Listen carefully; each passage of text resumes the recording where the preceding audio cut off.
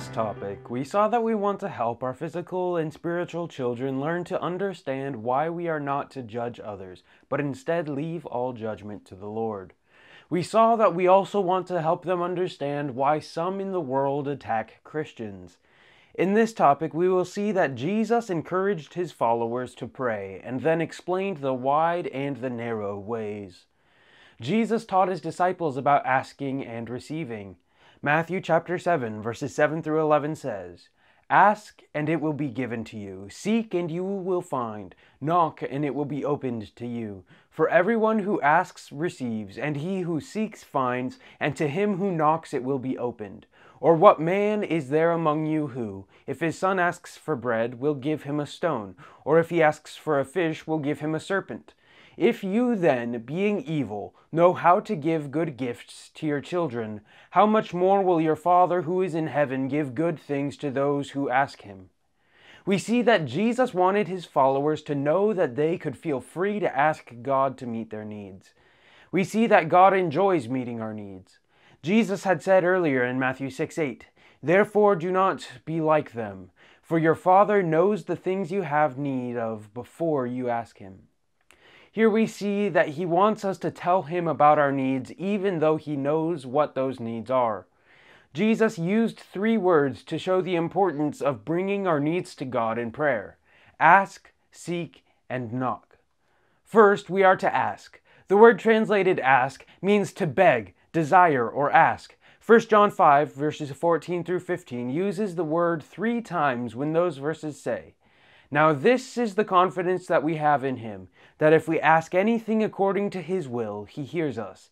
And if we know that he hears us, whatever we ask, we know that we have the petitions that we have asked of him. We see that we can know God will answer our request if it is his will. Second, we see that we are to seek. The word translated seek means to seek in order to find something. This is the word that is used in Luke 15, verse 8, where we read, Or what woman, having ten silver coins, if she loses one coin, does not light a lamp, sweep the house, and search carefully until she finds it? In this verse, the word is translated search, and the woman searched until she found the missing coin. In the same way, Jesus said that the Father wants us to keep praying until he answers our prayers. Third, we are to knock. The word translated knock means to knock at the door. This word is used in Acts chapter 12 when Peter was knocking at the door after the angel led him out of the prison. Revelation 3:20 says, "Behold, I stand at the door and knock. If anyone hears my voice and opens the door, I will come into him and dine with him and he with me." In this verse, we see that the church in Laodicea had gone so far from Jesus that he is outside the door and he knocks on the door and asks any individuals who want to have fellowship with him to open the door. In contrast to the church at Laodicea, Christ promises that as we pray and knock, the Father will certainly open the door for us. All three of these illustrations show us that the Father is eager to answer our prayers. If we will ask, we will receive. If we seek, we will find. If we knock, the door will be opened. Philippians 4, verse 6 says, Be anxious for nothing, but in everything, by prayer and supplication, with thanksgiving, let your requests be made known to God. In this verse, we see that we are free to pray to the Father about everything that happens in our lives. The Father wants us to come to Him in prayer with our requests. He also tells us that we are to make our requests to Him with thanksgiving. This is a step of faith because we thank God in advance that He is going to answer according to His will. Such an attitude brings great joy to the Father. Jesus went on to illustrate how human fathers usually respond when their children come to them with their requests. Jesus said that an earthly father will not give his son a stone when the child is hungry and asks for bread. If the child asks for a piece of fish to eat, a father will not give his son a poisonous snake that will hurt or kill the child. Jesus said, even though people are sinful and evil, they will still feed their children when they have a need for food. Even a very evil and sinful father is still concerned about the physical needs of his children. Then Jesus went on to explain that our Heavenly Father will certainly give good things to His children when we ask Him. The Father enjoys our fellowship when we come to Him with requests regarding our needs. Jesus went on to say in Matthew 7, verse 12, Therefore, whatever you want men to do to you, do also to them, for this is the law and the prophets. Here we see that Jesus gave a summary of how to obey all of the commandments in the Old Testament. Jesus said that we are to treat other people the way we want to be treated. He said that if we will treat people the way we want to be treated, we will fulfill the commandments in the Old Testament.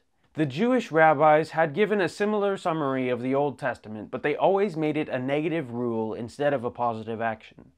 One rabbi wrote, What is hateful to yourself, do not to someone else. This says to avoid doing something hateful to others that you would not want to be done to you. In contrast, Jesus said it in a positive way, so that we would make it our goal to treat others the way we want to be treated. Jesus made it possible for us to do that by giving us the Holy Spirit so that he can give us the power to do what is right. Galatians 5:13 says, "For you, brethren, have been called to liberty. Only do not use liberty as an opportunity for the flesh, but through love serve one another." Here we see that true liberty gives us the freedom and power to follow the example of Christ and to serve one another in love. Jesus then went on to point out to his disciples and to the others who were gathered there listening to him that every person faces a very important choice in life. Matthew 7 13 through 14 says, Enter by the narrow gate, for wide is the gate and broad is the way that leads to destruction, and there are many who go in by it. Because narrow is the gate and difficult is the way which leads to life, and there are few who find it.